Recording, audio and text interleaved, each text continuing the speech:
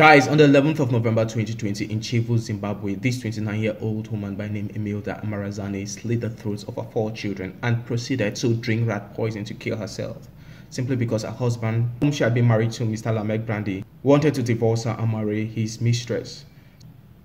And now, guys, if you're new here, please subscribe, like, comment, and share. I'd like to get your thoughts of what you think down in the comment section. Please, guys, do not forget to subscribe by that we can get up to a thousand subscription and do not forget to like so that this video can go viral thank you for understanding let's get into it Emilda Marazani was born into an impoverished life. She lived through her early childhood years in poverty. Around grade 5, her parents separated from each other, so she lived her life from one home to another. At times, her mother would send her to go live with her aunts because she never really had money to properly take good care of her. At times, her aunts would send her to go live with her grandmother. At times, her grandmother would send her to go live with her uncle. So she lived her early childhood years, you know, from one family member's house to another, looking for peace, looking for love, looking for tranquility, looking for acceptance. While she was living in her grandmother's place, there was no money to send her to school, so she dropped out of school around grade 7 and started selling fried fish and chicken on her head for her grandmother so that she can use the income which comes from the little hawker business which she does, that is selling fried fish and chicken, to help give her three square meals every single day. She lived her life that way in poverty up to when she turned 20, where she met her husband, Mr. Lamek Brand. In November 2020, when this incident happened, he was 43 years of age and Emilda Marazani was 29 years of age. Mr. Lamek Brand was from a very poor family to just as Emilda Marazani. But their poverty couldn't touch the love which they had for each other. They lived a happy life despite the fact that it was very hard for them to even have three square meals a day and to pay the house rent where they were living. So it was crazy and so hard for them. And during their nine years of poverty in marriage, she gave birth to four girls. And their names are Amanda, nine years old, Yolanda, five years old, Ayanda, three years old, and Glenda, seven years old. In the later nine years of their marriage, Mr. Lamek Brand started amassing so much wealth, up to the extent he opened a supermarket for his wife, Emilda Marazani, to start selling stuff so that she could bring income to the house, so that they can use this money to raise their family proper. They were blessed with so much wealth, up to the extent they built their own house. So guys, this is the house. Still, during the later part of their nine years of marriage, Mr. Lamek Brand was so wealthy. So he started messing up on his wife. He started cheating on his wife they started going out, getting mistresses, having sex with mistresses, and doing all sorts of things. And that is when their marriage went left. Like it went left from there. Emilda Marazani will call his attention that what he's doing is so wrong. Like we all started in poverty and together we've worked so hard and we've gotten up to the extent where so much wealth coming in. And now you're acting like a big boy. You go out and have mistresses, have sex, and come home at night. And when I want to talk about your bad behaviors, you put your hands on me and beat me. I'm sick and tired of this. And guys, this cheating and physical abuse wasn't an isolated incident. It was infrequent occurrence all the time. He always put his hands on her. Each time she called his attention on cheating on her, each time she calls his attention on coming home at night, he will always put his hands on her. So it was too much physical and verbal and cheating abuse on Emilda Marazani by her husband. And this just goes far to show that, you know, if you want to know if your husband truly loves you, if you want to know if your husband, you know, values you as his as his wife, you know, forever and ever, till death do them do you guys part. It's when your husband is wealthy. When your husband your husband is wealthy, that is when you know if the man truly truly loves you. Because if he is wealthy, he gains wealth and he's still faithful to you and he does not put his hands on you, you know, that man truly, truly loves you, you know, when he met you in poverty, when you met him in poverty. Now, if you met him in poverty, like in this case, and now when he, he starts amassing wealth, he starts putting his hands on you, it's obvious this man never really cared. This man married you because, you know, you were the only woman at that time who could accept him for who he is and he had no choice but to settle for for you you know now that he has gotten so much wealth he's showing his true colors of who he truly truly is it got to an extent where the beatings which Mr. Lamek Brand used to make on Emilda Marazani. Remember, Mr. Lamek Brand is 43 years old and Emilda, Emilda Marazani was just 29 years old at the time. And both of them, there is a, an age difference of 14 years. Of 14 years. So This man never saw this woman as his equal. He saw this woman as his child. He saw this woman as his child, and that's crazy. So the beatings which he made on her was so frequent, which it wasn't just within the premises of their house, you know.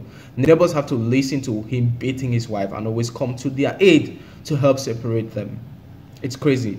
Up to the extent 29 year old Emilda Marazani took the matter to her mother and her father in law and discussed with them that this is what is going on in their marriage. Her mother in law and father in law told her that he has decided that he's going to take a second wife or divorce her and get married. Not just take a second wife, it was like he's going to divorce her and get married to another woman and it was certain so she came home back home with her husband after you know after the little family retreat which they went to which she reported her husband to her father-in-law to try to fix the issues.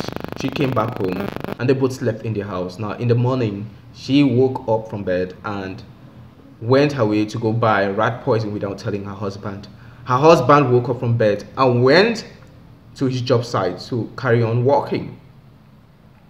She went and bought rat poison. And according to what was going on in her mind, according to her confession in in court, she said in her mind she had been through so much and there is no way a man whom she met when he was poor and the man met her when she was poor and they both came together and worked so hard and built an empire there is no way he's going to let this man you know marry another woman divorce her and marry another woman there is no way he's going to let this man do this.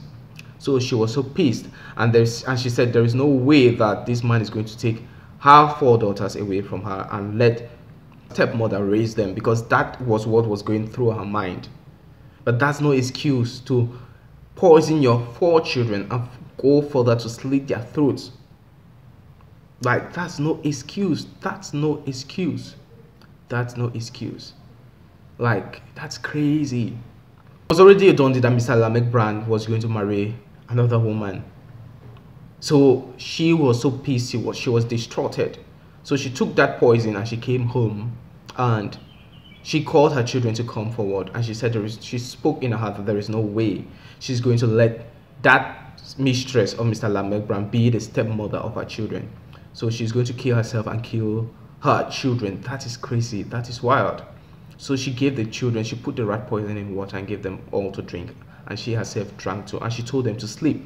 They all obeyed their mother and continued sleeping. While her husband had already gone to work. Her neighbors were, you know, doing their household chores. They never really, you know, it never crossed their mind that, you know, the fighting which this woman was going through or the beatings which this woman was going through by her husband, you know, had gotten up to the extent which it has led her to a state of psychological trauma of which she wants to kill herself. And she never really opened up to her neighbors that this is what is going on. Her husband wants to really divorce her and get married to another woman. So it's crazy. So while her neighbors were there doing their household chores, they didn't know that she had given her four daughters rat poison. And she herself had drunk of the rat poison. So she started sleeping.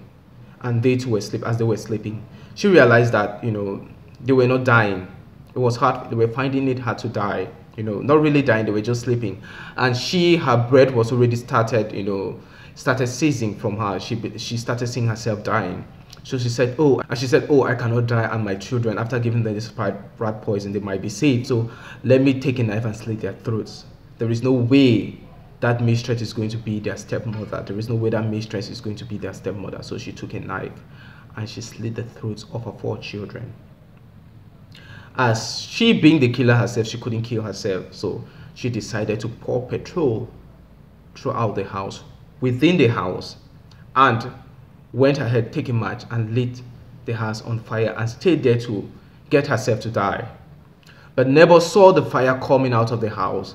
They rushed over and came and asked her what is going on, and she said no. She said no that the pot which she put on fire wanted to cause a big blaze in the house, so she just extinguished the fire. That's why smoke is coming out of her windows and, and the doors of her house. And the neighbor really, the neighbors really cared. They didn't care to ask her about the whereabouts of her children. Like, where are your children? So the neighbors went back to their various houses. And by the time they realized, the whole entire house of Emilda Marazani was on, on fire. So they ran and came to Emilda Marazani's house and tried to set off the fire. And they were pouring water, pouring sand on the fire and struggled, entered inside the house and pulled her out of the house and pulled out two of the dead body of her children. The other two were burned beyond recognition. So this is crazy. Then Emilda Marazani went straight away directly to the police and reported herself that she had killed four of her children and she would die very soon because she had just drank poison and she wanted to set herself to on fire. And it's crazy, guys. So, guys, this is the news article of this crime story. So, do not come at me saying I fake this. This is all fake because this isn't fake. This is the news article. You can go research it on Google, and yes, you can go research it on Google. Let's carry on. So 43-year-old Mr. Lamek Brown, Emilda Marazani's husband, came home and made his entire house, which he and his wife built, you know, in flames, all burned down, and four of his children are dead. And Emilda Marazani was in hospital receiving receiving treatment to avoid the rat poison which she drank, so that her life could be safe and she can go to court to testify. So this crime story shook the entire Zimbabwe, guys. So guys, what do you all think? Should Emilda Marazani receive the death penalty or should she receive life imprisonment? What do you all think? Or is it a case of, you know, mental breakdown and she needs psychological help? She should, she should be locked in a psychological uh, help facility prison where she should be taken care of, you know. So because it's crazy. It's crazy. Now, this is what I've been saying and I'll keep on saying again. Domestic violence is is an issue. We all as men and women should take it seriously. It's an issue. Now, a man can put a woman in a situation where then constantly beating her up to the extent she just gave up in life. She's like, you know, like what is there again to live for? Let me just take my life. My problem here is she shouldn't have taken the life of her four innocent children. Instead, if the man had wronged her, you know, since as the man was beating her profile on, on a daily basis, and it was on a daily occurrence, you know, when he returns home, you know, back from his mistress' place, drinking, you know, come back around 12, you know, 12 o'clock at night, and this man who put his hands on her, you know, she should have killed the man. Instead, she should have just killed the man. If she had killed the man, she would have stayed with the man's the house, the house and the man's wealth and all the man's money which he has in his bank account. She should have she would have stayed with everything. She won't she won't have lose everything, guys. I'm sorry that I am, you know, advising someone to kill her husband, you know, because if that's the case, if they put between, if they ask you, you know, she should have killed her husband or should should she had have killed, you know, her daughters? I would say her husband because her husband, you know, was the problem. Her husband was the problem in the marriage. So I understand where she's coming from, you know, looking at a man whom got married to her when she was 20, and this man is 14 years older than her. Together, this man is from a very poor background, and she's from a very poor, poor, poor background. They work together so hard, and wealth starts coming in, and this man felt so big, and you know, he started going out, you know, dealing with mistresses here and there then came back home and when she wants to complain that stop cheating on me you know stop coming back home at this time 12 12 o'clock at night she, he puts his hands on her and beat her profoundly. Up to the extent you know she took the matter to her in-laws. But her in-laws supported you know their son and instead said their son you know is going to marry another woman and he's going to divorce you so that's crazy that's a lot that's a lot for a woman who was born in poverty, who was raised in poverty, and who married a man who was poor and she was poor, and together they built an empire and they became wealthy, and the man started misbehaving. You know, that's a lot. But the problem is she shouldn't have taken her anger of her husband treating her badly on her children. Because when she was killing her children, she said she will never let her husband's mistress become the step mother of her four children. So she was saying this that she will never let this happen. If she wanted to kill herself, she would have killed herself and you know forego the lives of those four innocent children. So it's so sad. But I think the law will never find Mr. Lamek Brand, you know, Emilda Marazani's husband, guilty. These all started from him. He's the problem. You know, if it were in my courtroom, you know, he is an accomplice. He traumatized this woman up to the extent this woman had to kill her four children and drank rat poison and set the entire house on fire. Now, I'm not justifying the fact that this woman did what this what this woman did is right, but I'm just saying he is an accomplice and the mistress too is an accomplice. Coming into a solid married home with children involved, wanting to destroy the marriage when you just met a man whom you know who was poor, who married in poverty with his wife, and you met the man who he has started making money and you wanted to steal the money away from his wife and from his children. It's crazy to break their marriage home. So the mistress who, if it were in my law court, the mistress who is an accomplice, and I have to, she ha, she will have to do time, because in some countries adultery is a criminal offense. In Cameroon, adultery is misdemeanor. You can spend close to three to five years imprisonment for committing adultery with a married man or a married woman for daring to destroy a matrimonial home. You don't dare because to destroy a matrimonial home in Cameroon.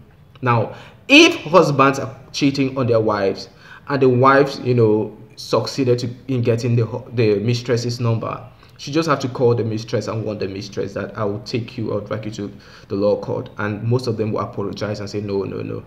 They're not going to mess up with, eh, you know, that wife's husband again but in some countries, like in the United States, I don't know about South Africa or Zimbabwe, adultery isn't a criminal offense. Now, the, the state has to pass laws to protect, you know, holy matrimony, to protect family. Because a good family, if you have good families in a state, you have a good nation. Because every citizen within a nation come from a family.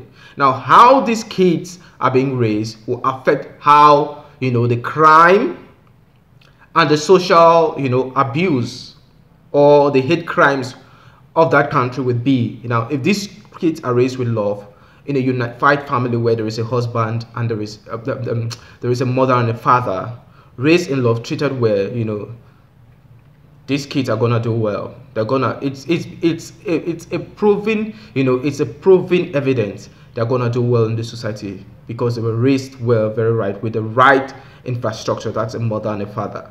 Now, if there is divorce and these kids, you know, parents, you know, separated and father don't even come around or mother don't even come around, you know, it's gonna affect them psychologically and they can move on to be, you know, to be drug addicts, prostitutes, and all that. So it's crazy. So in my law court, Mr. Lamek Brand and his mistress who spent do time in prison. So guys, what do you all think? I'd like to get your thoughts down at the comment section of what you think about this true crime story. Because this true crime story shook the entire Zimbabwe. Like to just wake up one morning and you hear that your neighbor, you know, uh, you know poisoned her four children and slit their throats and set the entire house on fire and wanting to die. So in that fire, it's crazy. Right. I'd like to get your thoughts down at the comment section. Guys, do not forget to subscribe. Thank you.